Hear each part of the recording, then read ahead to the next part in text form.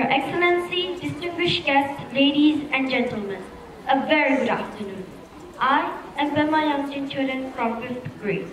It is an honor and a privilege for me to stand in front of you to share our ideas of change.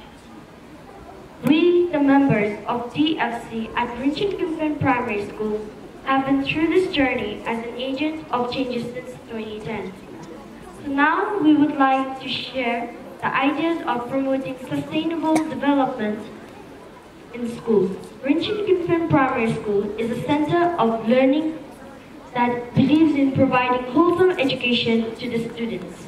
The school invests in front in our education through multiple activities that is geared towards impacting on many fronts. Cooperative learning, being creative and analytical, developing leadership qualities, gaining confidence, being sensitive to the developmental policies and programs, and responding to the needs of the society are some out of the many. As part of the program on educating for GNH, the school has initiated many ecological activities. These activities are primarily focused towards enhancing the importance of environment in their lives.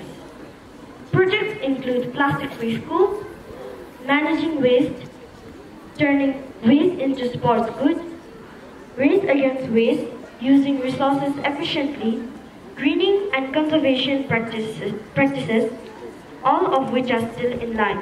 Another activity initiated as part of innovation was the rainwater harvest project, which is being successfully carried out.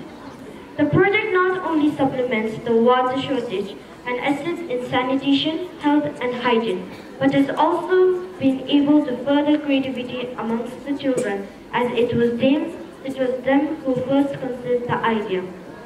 In order to sustain the noble concepts and practices of promoting sustainable development in schools, apart from all the issues addressed earlier and which is still being continued, this year to commemorate the 60th birth anniversary of our Druk Gyalpo, our school came up with a Green Park project to showcase to the outside world our pristine environment and the rich diversity of flora and fauna.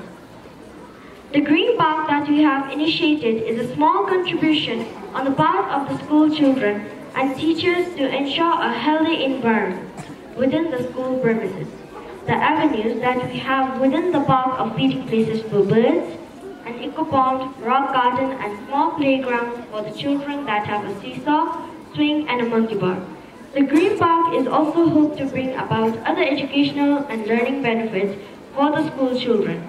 Through the birth page, we hope that the children can enhance their knowledge on the various types of birds that frequently come and be able to identify them. Children can also know about the various types of insects and water animals that we hope ultimately make use as they move. The seesaws and the monkey bars can also contribute to the children's growth development besides providing them with the much needed avenues to spend their leisure time.